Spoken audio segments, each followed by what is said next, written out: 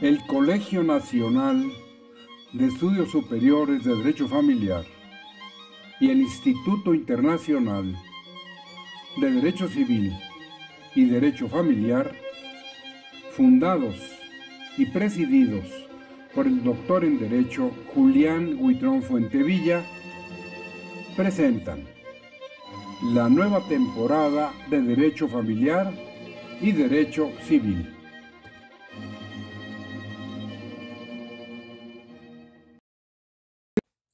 Bienvenidos a su programa Derecho Familiar.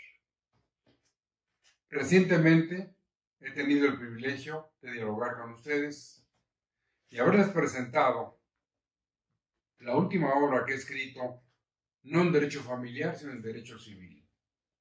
Como lo señalamos en el anterior programa, el Colegio Nacional de Estudios Superiores de Derecho Familiar y el Instituto Internacional de Derecho Civil y Derecho Familiar fundados y presididos por quien les habla, es el patrocinador, es el mecenas de la nueva temporada de Derecho Familiar y Derecho Civil, que además estamos incluyendo la temática tan importante como es la sucesión legítima y testamentaria. Pero hoy quiero tratar con ustedes un tema permanente en la sociedad mexicana, en las familias, en el extranjero, porque está vinculado con una figura, una palabra, que gramaticalmente significa enajenar, que es alienar. Alienar es que usted pueda transmitir un bien a otra persona a través de una compraventa. Pero en derecho familiar, con el enfoque que le vamos a dar hoy, vamos a hablar de la alienación parental. Aquí le formularé yo a ustedes una primera cuestión. ¿Existe la alienación parental? La respuesta es categórica, afirmativa. Sí existe. ¿Qué ha ocurrido con esta conducta es la mejor definición que podemos dar, que asume el padre o la madre alienadores, porque ese es el calificativo que reciben, cuando ante un conflicto de divorcio, de ruptura de un concubinato o de una situación de hecho donde la señora se va o el señor o empiezan a utilizar a sus hijos, a sus hijas, niños, niñas, adolescentes, provocándoles a través de intrigarlos, de mal informar respecto a lo que hace el papá o la mamá respectivamente, y encontramos que la, alienación parental, para empezar, no es una enfermedad. Esto ha provocado, porque los finales del siglo pasado, 1985, un médico de apellido Garner inició sus experimentos en esta materia y de ahí muchos dijeron, existe el síndrome de enajenación parental y lo llamaron en inglés con las iniciales SAP. Pero en realidad no es una enfermedad. Incluso la Organización Mundial de la Salud ha dicho que no reconoce que sea una enfermedad. Y lo mismo pasa con la Sociedad Americana de Psiquiatría, que tampoco lo han reconocido.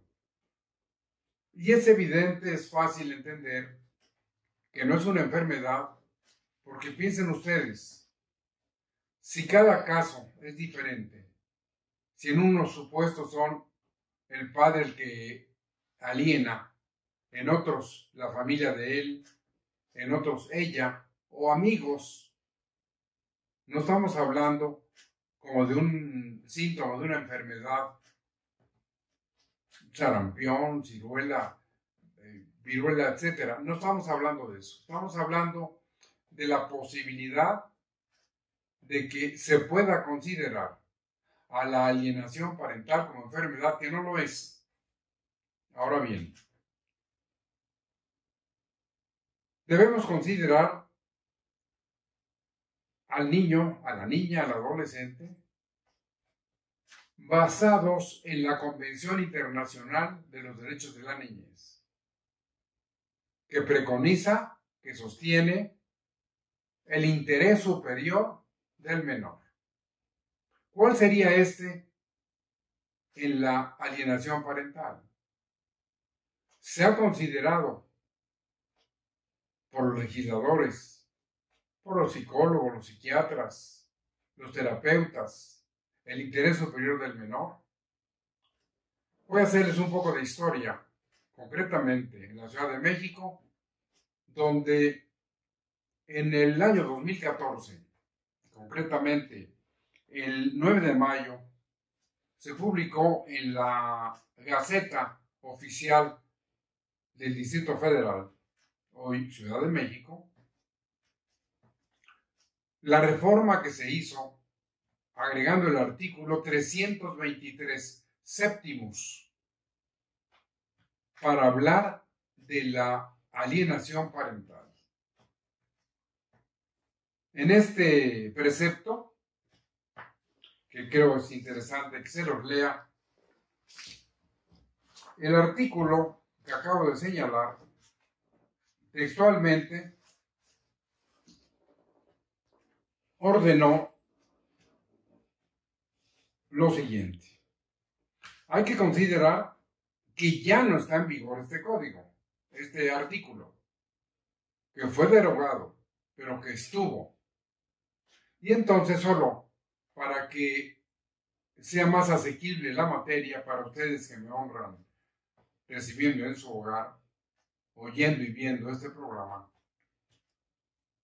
Dijo este artículo que de una vez también señalo que duró en vigor casi tres años prácticamente, porque en el año de 2017, el 10 de julio, se derogó.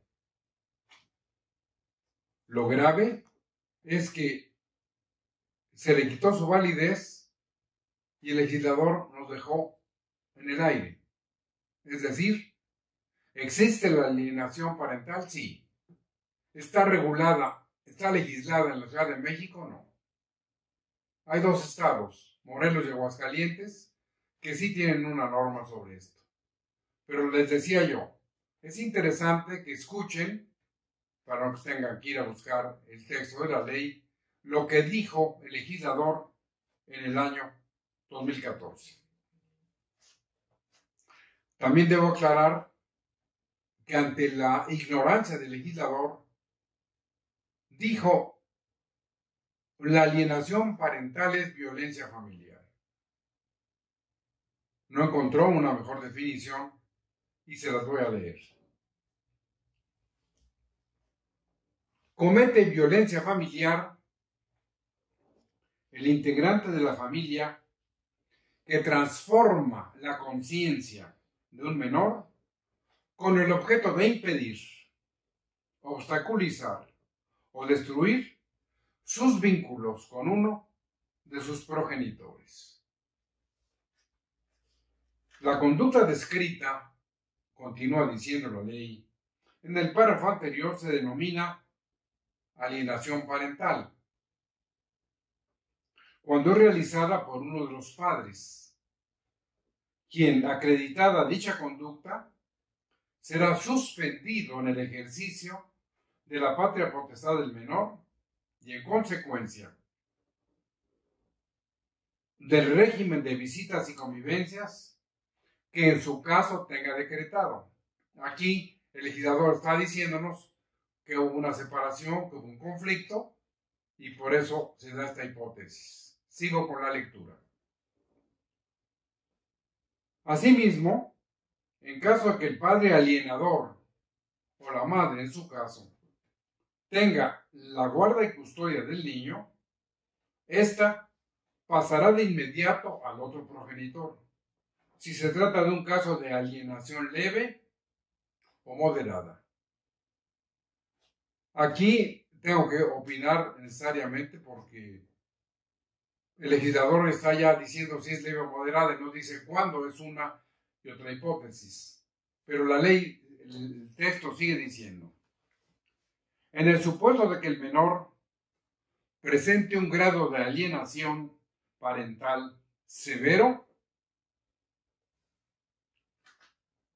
en ningún caso permanecerá bajo el cuidado del progenitor alineado,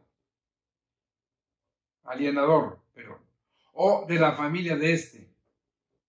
Se suspenderá todo contacto con el padre alienador y el menor será sometido al tratamiento que indique el especialista que haya diagnosticado dicho trastorno. Nuevamente hay que referirnos al legislador. ¿Quién es el especialista que lo diagnostica si esto no es una enfermedad? Respuestas no hay. Porque como decía yo al principio, cada supuesto es diferente. Sigo con el texto.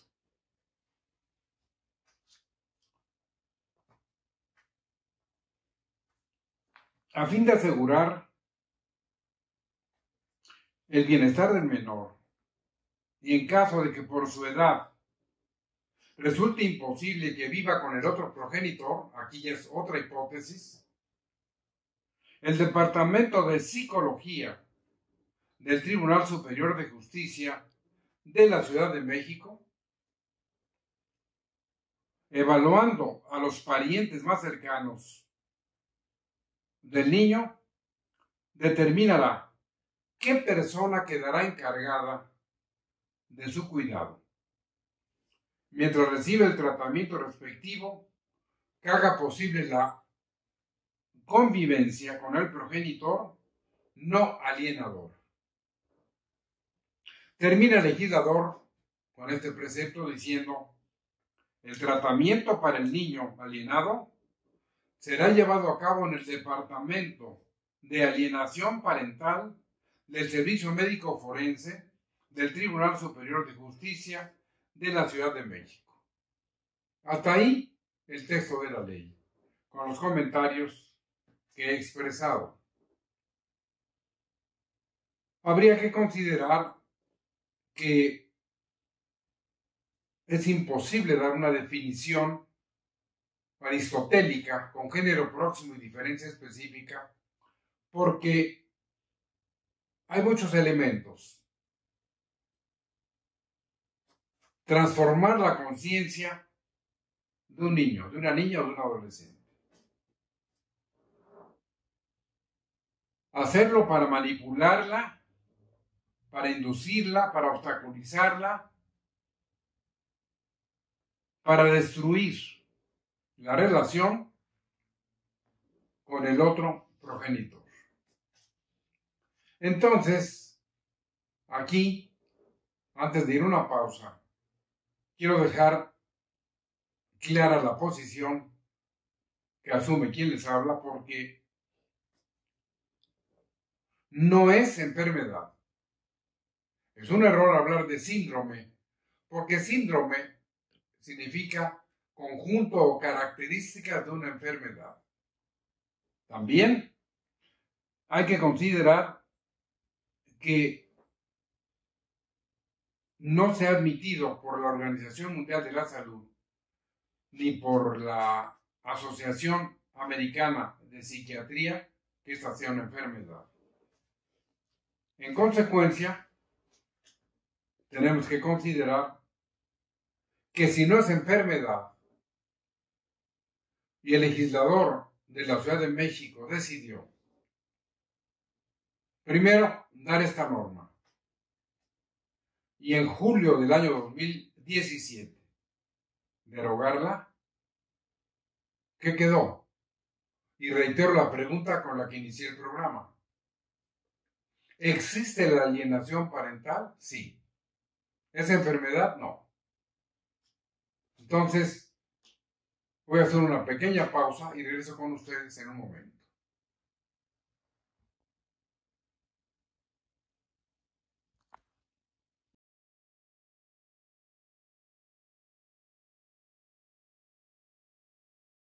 Decía yo que es importante considerar en esta grave problemática el interés superior del menor, sea un niño, una niña, un adolescente. El Código Civil para la Ciudad de México del siglo XXI, que como ustedes bien lo saben, entró en vigor el primero de junio del año 2000. En esta materia específicamente, que se las voy a comentar y a leer, dice el legislador que el concepto de interés superior del menor y su prioridad respecto a los derechos de cualquier otra persona consiste en lo siguiente. Voy a la lectura del artículo 416 ter del Código Civil Ciudad de México del siglo XXI este. Este es realizado por quien les habla, es un código actualizado, acotado, de editorial Porrúa, igual que el libro de derecho familiar que he utilizado, este que es de la Enciclopedia Jurídica de Derecho Familiar, iniciada en su momento por la directora Leo Castañeda Rivas y completado en forma brillante por el doctor Raúl Contreras Bustamante, dado que es un libro que actualmente sirve en la pandemia muchísimo a todos los estudiantes de la facultad. Incluso este tomo es el 34 de la enciclopedia que tuve el privilegio de escribir. Dice el artículo 416 ter respecto a las hipótesis del interés superior del menor que el legislador en 2014 no tomó en cuenta, que tampoco el que derogó el artículo, ni quienes tenían a su cargo la responsabilidad de legislar o de presentar iniciativas que dejaron mucho que desear y por ello hoy tenemos una laguna grave. Reitero, la alienación parental existe, sí. ¿Y la norma? La Ciudad de México, con sus 9 millones de habitantes, con su tribunal más grande del mundo, con su carencia de legislaciones familiares adjetivas y sustantivas, con 52 juzgados familiares, de los cuales 10 son orales, con 15 magistrados familiares y 5 salas familiares y la carencia de leyes familiares, tenemos que acudir al Código Civil. Y este, el cuerpo normativo mencionado, del interés superior dice en qué consiste que no se tomó en cuenta por el legislador cuando dio la norma antes mencionada. Reitera el artículo 400 16 ter lo siguiente. Para los efectos del presente código, se entenderá como interés superior del menor. Y aquí va a haber una enumeración de las diferentes hipótesis del interés superior. Dice el legislador, la prioridad que ha de otorgarse a los derechos de las niñas y los niños respecto de los derechos de cualquier otra persona. Cualquier otra persona quiere decir sus progenitores, porque el conflicto en el que ellos llegaron puso al niño, a la niña o adolescente en medio y dijeron, bueno, pues vamos a hacer eso con el niño o con la niña, pero no le dieron la prioridad que deben tener esos derechos de los niños y las niñas, que además, lo dejaré para la parte final del programa, la Convención Internacional de los Derechos de la Niñez preconiza, ordena con toda claridad en qué consiste ese interés superior. Sigue diciendo el legislador. Con el fin de garantizar, entre otros, es una manera enunciativa, no limitativa, de los siguientes aspectos.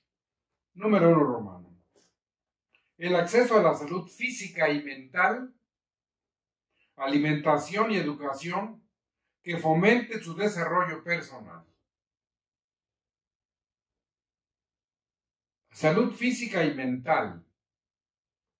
Estamos en la alienación parental.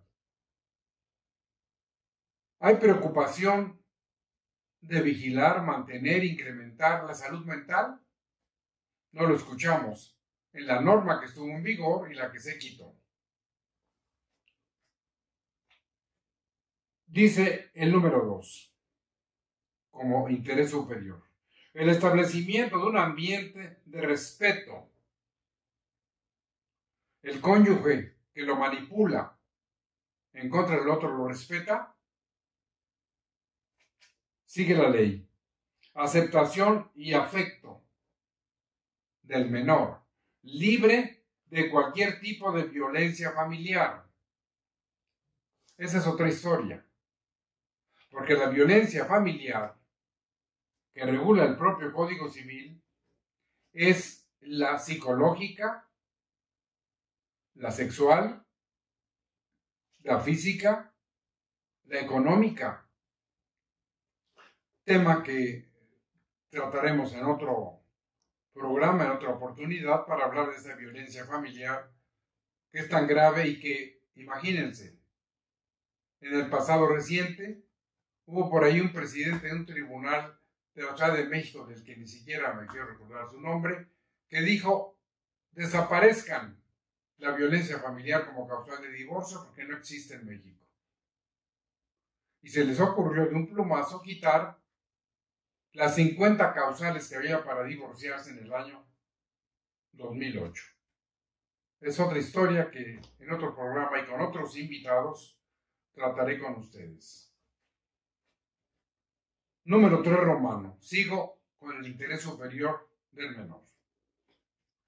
Es interés superior del menor el desarrollo de la estructura de personalidad del menor con una adecuada autoestima, libre de sobreprotección y excesos punitivos.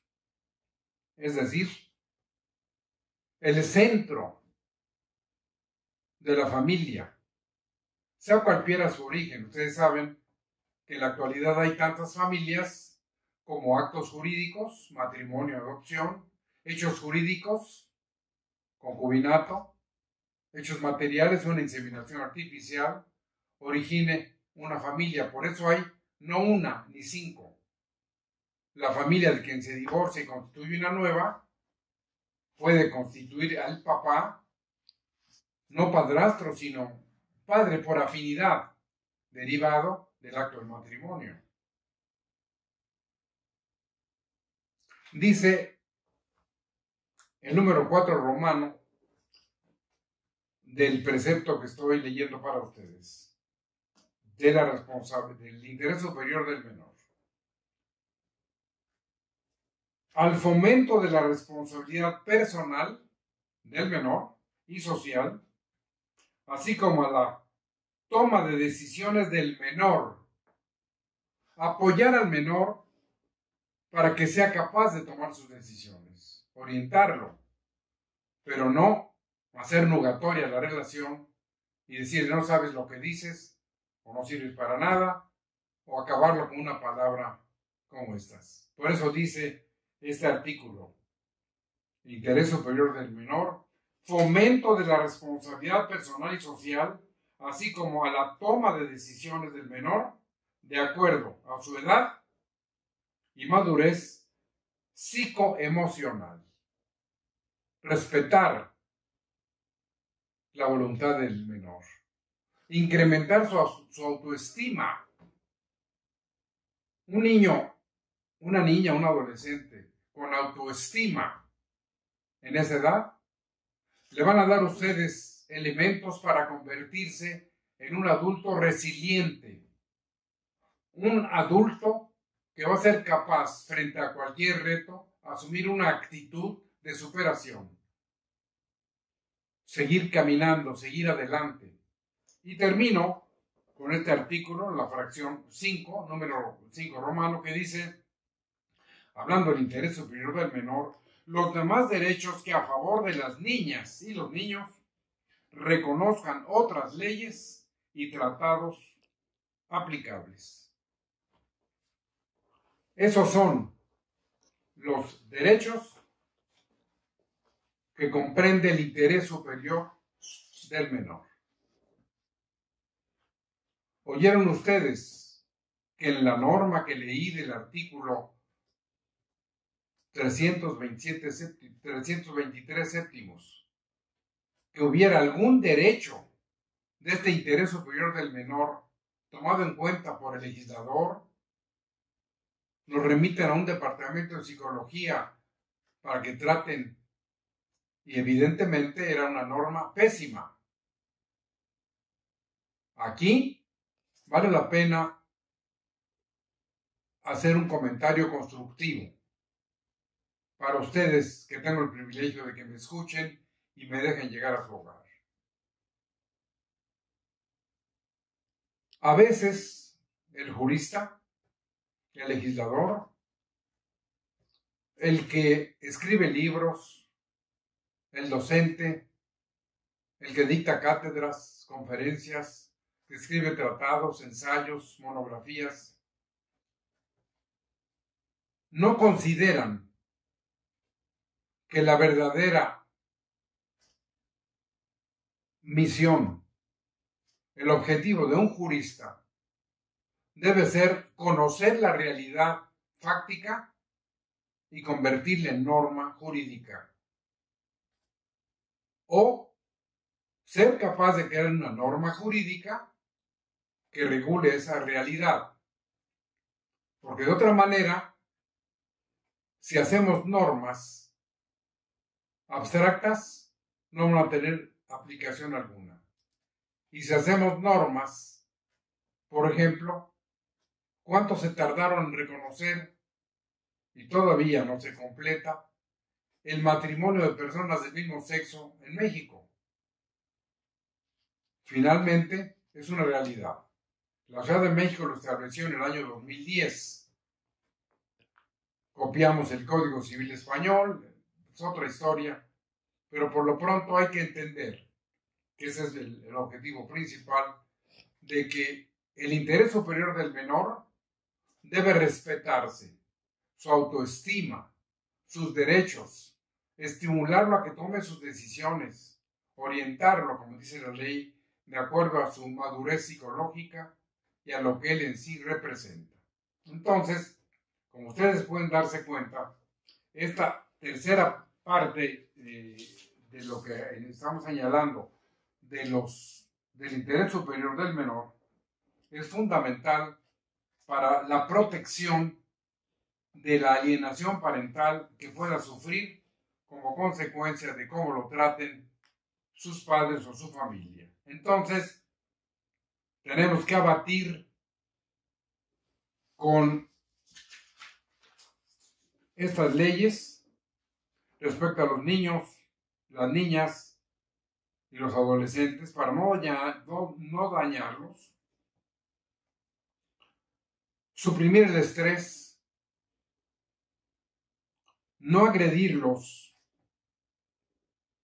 no abandonarlos, no propiciar en ellos miedos y tampoco rechazarlos.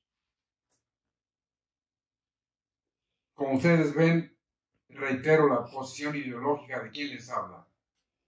La alienación parental sí existe en México, en el mundo, pero la regulación no es adecuada. Y frente a esto yo los convocaría a ustedes y a quienes me honran escuchándome, legisladores o maestros, a que hagamos un foro abierto con la participación de todos los que tengan un interés para enfrentar y diagnosticar qué es la alienación parental. Un pronóstico, alternativas de solución y determinar cómo podemos mejorar y cómo podemos resolver esta problemática. Voy a una pausa y regreso con ustedes para la parte final del programa en un momento.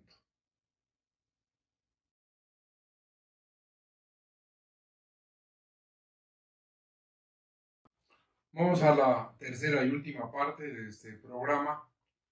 Les reitero mi agradecimiento por permitirme llegar a su hogar. Y les recuerdo que tenemos un correo electrónico donde ustedes pueden escribirnos, me pueden preguntar lo que crean más conveniente y por la misma vía haremos con mucho gusto las respuestas de acuerdo a lo que ustedes nos demanden. El correo es Hernández 366 arroba hotmail.com. Se los repito, Hernández arroba eh, Hernández 366 arroba hotmail.com.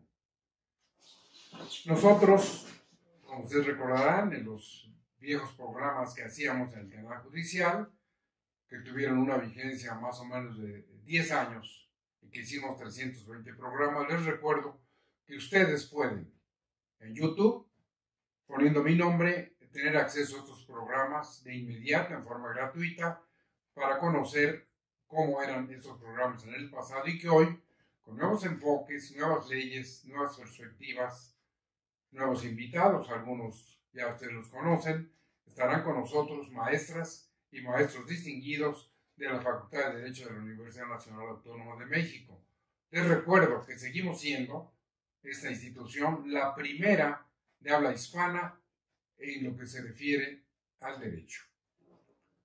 Con esta última parte, para terminar con este tema sobre la alienación parental, debemos resumir que ejemplos hay muchos, citaré algunos para ejemplificar, valga la redundancia, de que no deben maltratarse en ninguna circunstancia eh, un cónyuge al otro frente a sus hijos.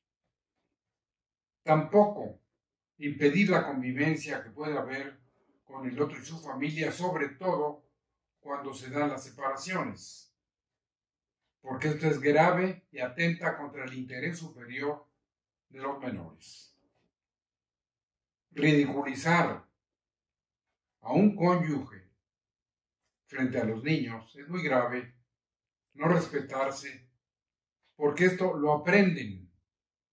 Y si eso hace el papá con la mamá, ese niño puede repetir la conducta, o a la inversa. Otro ejemplo sería mentir, decir mentiras sobre el otro cónyuge estar levantando falsos calumnias, cuestiones que no son ciertas y que quedan en la memoria del niño. Y también no dañar a los hijos, porque los vamos a acabar traumando y los vamos a hacer víctimas de ansiedad, de estrés, se les va a ir el sueño, no van a querer comer, van a ser agresivos con otros niños, van a rechazar una convivencia y todo esto porque no hay una conciencia de que la alienación parental existe y que hay que enfrentarla con un diagnóstico, con expertos, terapeutas, psicólogos, psiquiatras, médicos, abogados, trabajadoras sociales, todos los que de alguna manera tengamos un interés en que la autoestima y el interés superior de los niños se mantenga incólume. También debemos considerar, y esto es muy importante, que la Suprema Corte de Justicia de la Nación ha emitido resoluciones en esta materia que son importantes, pero aquí quisiera insistir en la contradicción desde que se dio el 323 séptimos, porque fue en contra, primero, de los artículos primero y cuarto constitucionales. Como ustedes saben, las garantías individuales ya no existen. Lo que hay a partir de la reforma de junio del año 2011 son derechos humanos subjetivos fundamentales, constitucionales, en este caso familiares, en esos artículos, concretamente, esta norma iba contra el primero y el cuarto constitucional, pero también contra los textos de los artículos segundo, tercero, de la Convención de los Derechos de los Niños y, por supuesto, de los de la Convención Americana sobre Derechos Humanos, que son el artículo 2 y el 17. También es importante señalar que estos derechos de los niños y las niñas, consignados en los artículos 5 y 12, así como en la Convención de los Derechos de los Niños 8, 19 y 25, han sido violados, violentados muy grave, en forma impresionante, porque si uno lo sabía, se lo, comento y si ya se lo ratifico. Los jueces familiares, sobre todo en la Ciudad de México, tienen la obligación, el deber que les impone la ley, dependiendo el conflicto entre los padres, de escuchar a los menores. Que ellos den su verdad, que ellos digan qué problema, qué están teniendo, cómo están batallando para que esto pueda tener una mejor solución. También debemos reiterar algo que ya señalé, que la alienación parental existe y que como tal debemos identificarla como una de las más graves problemáticas de las familias mexicanas. Se soslayan, pero eso no significa que no existan.